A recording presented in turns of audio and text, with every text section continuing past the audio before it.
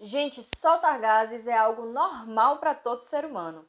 A produção deles no nosso organismo é contínua em maior ou menor quantidade e a depender de nossa alimentação e de outros fatores.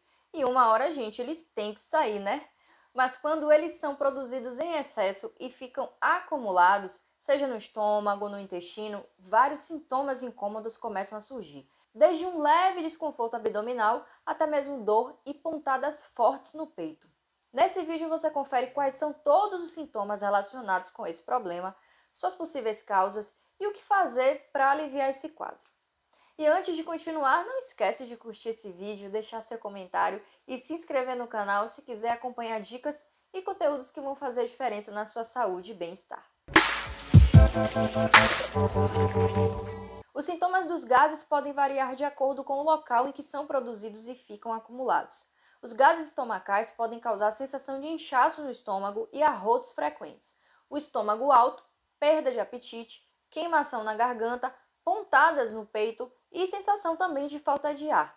Eu tenho certeza que muita gente já até pensou que estava tendo um infarto por causa dessa dor, de tão forte que ela é e que pode ir até a região do ombro também.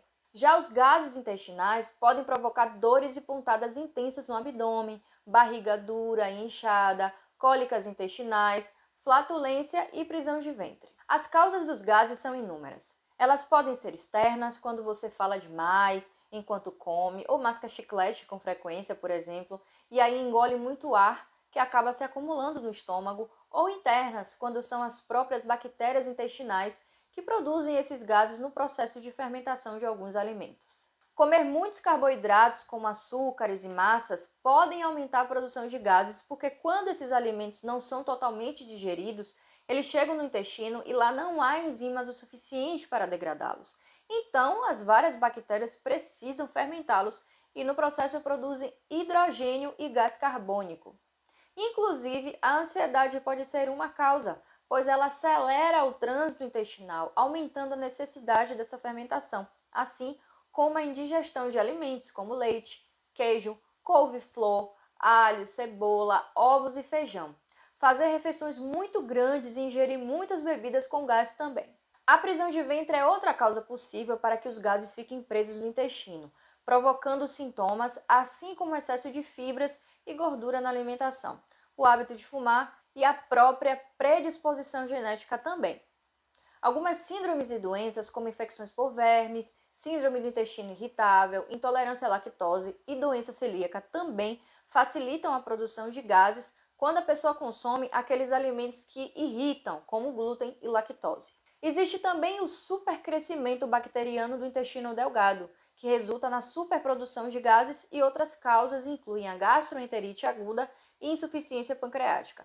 Todos esses problemas precisam ser diagnosticados e tratados pelo médico. E se você elimina aí os gases mais do que 20 ou 25 vezes por dia, se o odor é muito forte e se os sintomas como dor, pontadas e inchaço abdominal são intensos, o médico deve ser procurado aí para investigar o que é está acontecendo.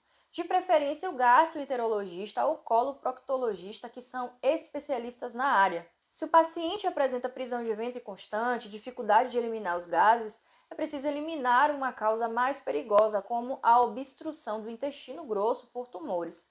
Geralmente, apenas o excesso de gases não é indicativo de câncer, tá, gente? Mas é preciso se atentar a sinais como fezes com sangue ou pus e dor ao evacuar. Muitas vezes, a própria liberação dos gases através dos flatos e dos arrotos já melhora o quadro de dor e desconforto, mas eles são causados por síndromes e doenças inflamatórias ou infecciosas e o tratamento precisa ser feito por médico. Investir em chás que ajudam a eliminar os gases é uma ótima opção natural, como chá de erva cidreira, de erva doce ou de funcho.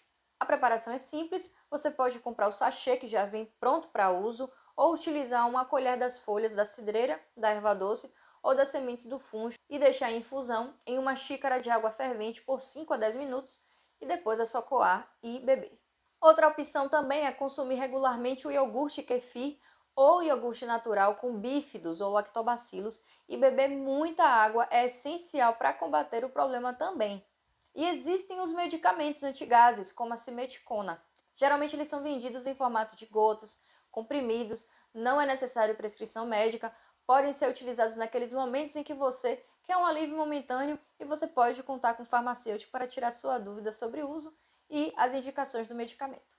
Espero vocês no próximo vídeo. Até mais! Esse vídeo é informativo de divulgação de bulas disponibilizadas pelos fabricantes. Não utilize medicamentos sem orientação médica. Isso pode ser perigoso para a sua saúde. As informações desse vídeo não devem ser utilizadas como substituto de prescrição médica.